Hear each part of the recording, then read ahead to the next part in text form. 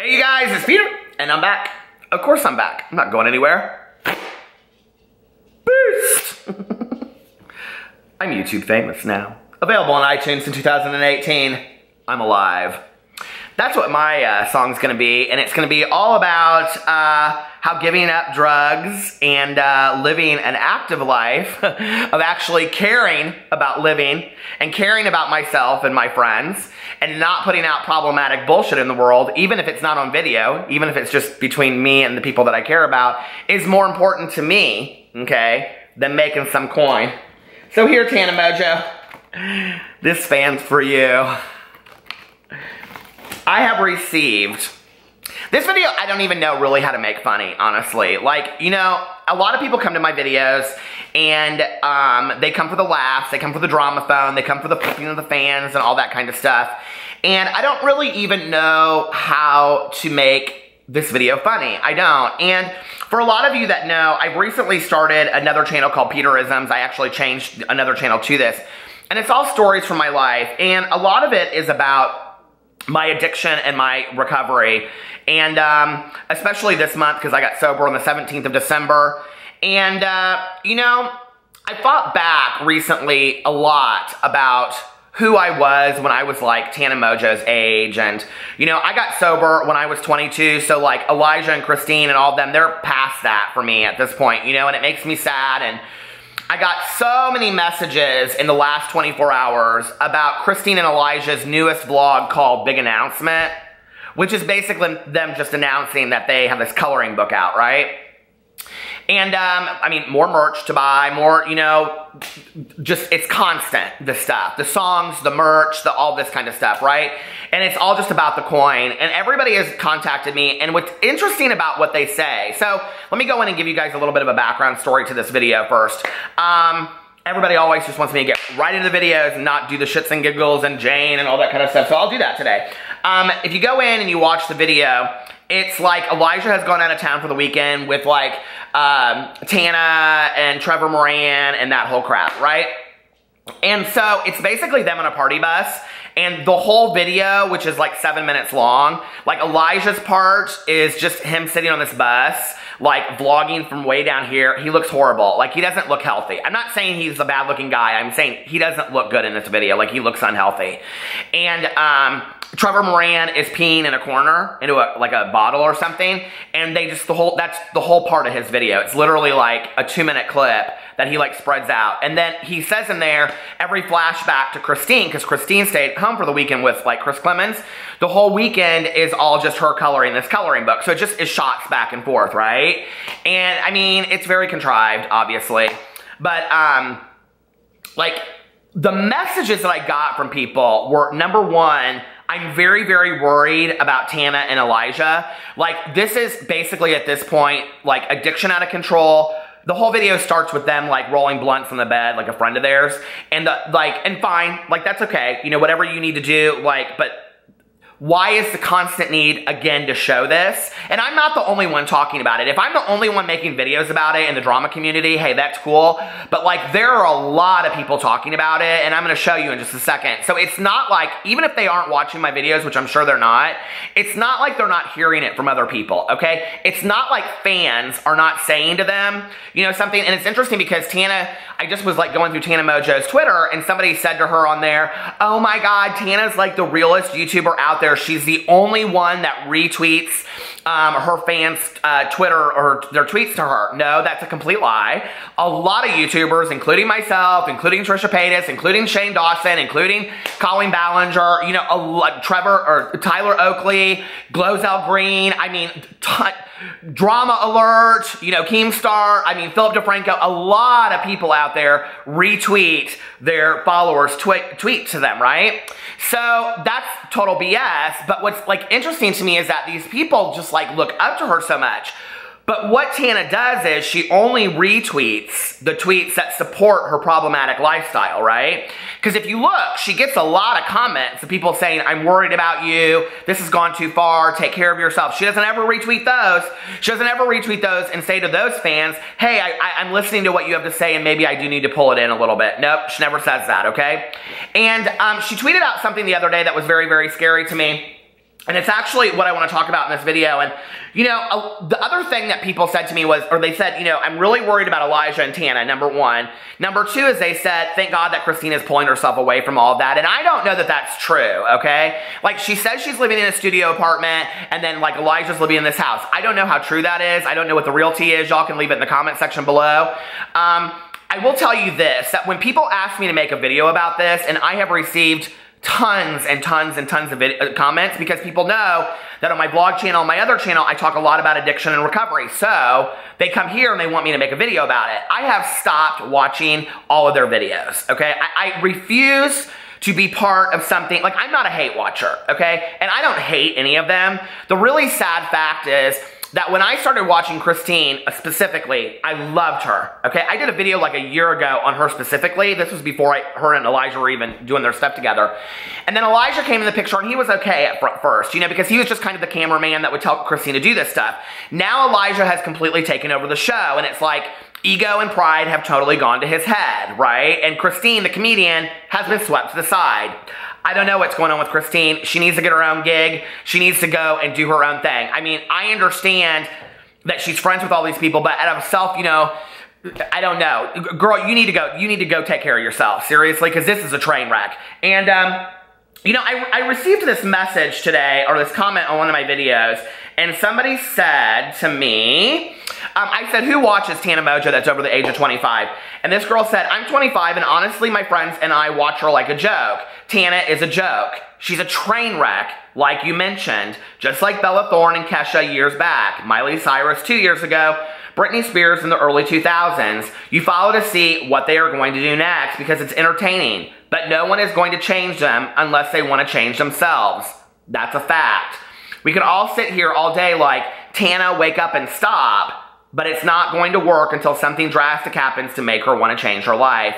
And you know, that's a really scary comment, I think. You know, that basically she's feeding into this whole mystique of falling apart and being a train wreck so that she can gain views. That is really, really sad to me, okay? Basically what that says is, I don't believe that I have any self-worth or any talent past the fact that I am just a total fuck up and everybody wants to be a fuck up like me and I'm a role model being a fuck up for the entire world, okay? And so that kids under the 18 will tweet me or comment on my video, Tana, I just smoked pot, you know, because of you for the first time and, uh, you know, that eventually they'll be driving around in a party bus and they see that and they go, oh, I want that life, I want that life, but not a lot of people have that life. You know, like you need to know that, okay? Maybe look up the cost of a party bus and people just hanging out and never having employment other than making videos that tons of people are watching because they're rolling blunts and they have this life that's out of control. Because that's what's paying their bills.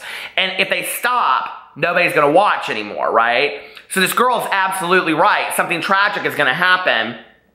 Now, it scared me the other day because Tana tweeted out, um, she said, hold on a second. I just think, I just said, I think I'm going to kill myself, and someone stopped me to say, I think the drugs are going to beat you to it, sweetie. And, uh, I do not take suicides like, lightly at all, okay? It is a very, very serious topic. I've had multiple friends of mine that have committed suicide and um, that have left family and friends in their wake. To joke about something out there when you know your audience is under the age of 18 that they struggle the most. And suicide is the number two leading cause of death between 12 and 25 year olds. That's a really scary statement to put out there. Unless you're serious about it, and then Tana, please go get some mental health treatment. Go get a counselor, go see a physician, stop pharmaceutically medicating yourself on all of these different drugs. That is terrifying. And if you're not serious about it, the message that you're putting out there as you call it, you want to be a role model, okay? You want to use your platform for good. Can you please explain to me how this is a platform for good? Or are you going to say, well, there's a lot of young kids that relate to that? There are a lot of young kids that relate to that. What's your solution to that? To just use a bunch of drugs and get fucked up? That's very, very scary to me that you would put something like that out there into the world. I want to read the comments underneath this. Um, when she was on the party bus, she was getting ready to get on the party bus in her video, the same one that they're talking about with Christina and Elijah, which basically should have been called uh, Elijah and Tana on a party bus, because it's really, now Tana has completely infiltrated Christine's, I mean, there's no reason for Christine to be around. Like, that's just the fact, okay? Elijah has completely taken over. There's no reason for being, for, Eli- for Christine to be around anymore, and it's really sad because Christine is the true comedian. She's the true talent of that situation. And, you know, Elijah's got a big enough following now. He needs to just go and do his own thing and, like, let Christine do her own thing, too, honest to God. If he really loved her and if he really cared about her, what he would say is, I'm pushing you down out of existence. You, you don't want to, like, align yourself with all this bullshit. Christine, go do your own thing, okay? You are doing just fine with without me in all my your videos. You've helped me build up my channel. Now let now you go do your thing. I love you, Christine. We're still good friends. Go do it, right? Because it's no longer the Christine show. It's no longer the Christine and Elijah show. It's the Elijah show. Um, but what really bothered me was after reading this tweet, let me read it for you again. I just said, I think I'm going to kill myself, and someone stopped me to say, I think the drugs are going to beat you to it, sweetie. And then on the way to her the party bus, she screams at the camera, I want to die, or I'm going to die, or something like, I hope I die, or something. And I'm just like, do you think about what you're putting out there in the world? Do you care at all? Like, all these people say that Tana loves her fans so much. If Tana loved her fans, if that was a true, honest statement, she would never put out this problematic, it, she would never put this out there. This is not caring about your fans. This is not caring about the things that you do and you say that might affect other people or push them over the edge or make them role model your behavior or want to be like you so much. Do you know how many comments I get on my videos of people saying, I'm 22 or I'm 18 or I'm 25 and I am trying to get sober and so many people around me were using and yes, I wanted to be like them and that like that maybe they didn't peer pressure me, but it made me want to use more because I wanted to be with them, I wanted to be around them. It's a fact, you know? So anyway, let's go in here and let's read the comments underneath this video. Oh, by the way, um, I have a picture to show you too on the heels of all of this. I mean, if, if her tweeting that out isn't enough, and her putting it in a video isn't enough, and her constantly showing all of her prob problematic behavior, let's make sure you get it on Snapchat too. And so just the other day, um, she tweeted out this filter and said, does this filter mean cocaine or, and then at the bottom of it says, hoping for white Christmas. Another cocaine reference, Tana. Cocaine, suicide, marijuana, drinking. They talked about Tito's vodka on the party bus. Um, these people are all under the age of 21 too. So we're seeing people under the age of 21 on a party bus. I don't know who's hiring that party bus for them and allowing people under the age of 21 to drink. And um, going on, I mean, it's ridiculous, okay? And who is enabling all this kind of stuff? Like, why are the, I, this? These videos are so problematic so scary to me that no, I'm not saying that people under 21 don't drink, okay? I'm not stupid. I mean, listen, I didn't wake up yesterday and I've worked in the field of addiction for 20 years and I drank before I was 21, okay? But I wasn't showing it in a video for the rest of the world, okay? And if I had tried to like put something like that out there, I have a feeling there would have been quite a few adults that would have stopped me in my tracks. So let's go in here and read this tweet and read what the comments underneath it are. So I just said, I think I'm going to kill myself, and someone stopped me to say, I think the drugs are going to beat you to it, sweetie. And then somebody says, oh my God, but like, where's the lie? And then Paige says, please, can you stay safe? And then Hannah says, honestly, like everyone makes jokes, but I'm starting to get worried. Ha ha ha ha. Gina Kim Kimyona says, I've been worried. And then somebody, this Nuda says, Xana uh, Mon, Mon Tan I can't even say her name anymore. But Xana, like Tana, that's all you need to know. Um, and then somebody tweeted to me and said, related to your last video about her? Oh, I don't even see that. Um, and then somebody said, dude, I am so shook she tweeted that because she's been avoiding the topic unless it's like, ah, Xanax. Exactly, and I feel like from my experience with addicts, a lot of time the evidence is in plain sight. I don't want to go as far as saying it's a cry for help, but she's at least self-aware that something isn't right. Is that true? I mean, is she? if she's self-aware, then these people around her have to be self-aware, and why aren't they saying something to her then? They're just part of the ride too. They're all of them a disaster at this point, and it's very, very scary. And I have never known a group of people that use together like that so exclusively that somebody doesn't die or end up in prison at some point. And she's already gone to jail, okay? You know, and the institutions in death, that's what's left of this. So, um, I mean, Tana, that's seriously not good. Oh my god, no, that is actually so sad. Oh my god, Tana, you okay? Are you wrong? Where's the lie though? Where's the lie though, sis? Whoever this was deserves an award. Am I the only one who didn't find that funny but sad? Like, it's true. I'm worried for her. Probably true. Sorry. But where's the lie? I mean, that or alcohol. But did they lie? I can't tell if I should laugh or cry. Okay, but this isn't something to joke about, Tana. Are you okay? Um, that's not a lie. Kind of sad though. Be safe, sweetie. Oh my fucking god, help. Um, Tana, please take care of yourself. We love you. I mean, like, I don't see a lie. They're not wrong. Oh, Xana. Why is this actually me? Help. There's one person. Everything about this tweet is concerning, to be honest. I am laughing and crying at the same time. Oh my god, help, help. My life in one tweet. There's two people. Oh my god, help. But isn't he right? Wait, did I just assume? Wait. It's been happening for decades. Where, where's this going in? Right.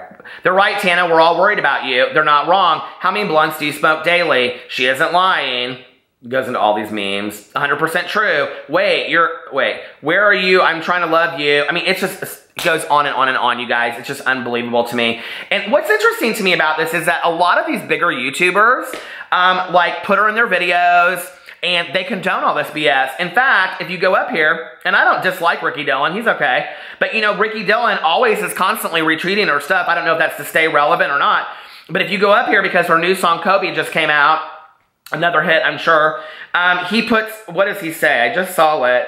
Um, Ricky Dillon tweeted to her, oh my God, you legend. Look what is tweeting, trending. Everyone is ready for your next iconic smash hit. She said, if only, LMAO. Ricky Dillon, She's a legend, isn't she? She tweets out things about wanting to kill herself and use drugs rampantly, and you support that. That's very telling. I think that in a time of YouTube where we're trying to be more positive, we're trying to help other people out, and we talk about the need for mental health treatment and drug addiction and all these kinds of things, and we do these very like emotional videos on channels talking about all this kind of stuff, we call that a legend. We support all that. Um, I think that people need to start thinking about what they're doing and supporting her. It's very, very scary to me. It's not funny. It's not a joke. The girl needs some help. Maybe instead of tweeting out how she's a legend, maybe you could text her or call her if you know her so well and say, sweetie, I love you. Your behavior really scares me. I love you guys and I'll talk to you later.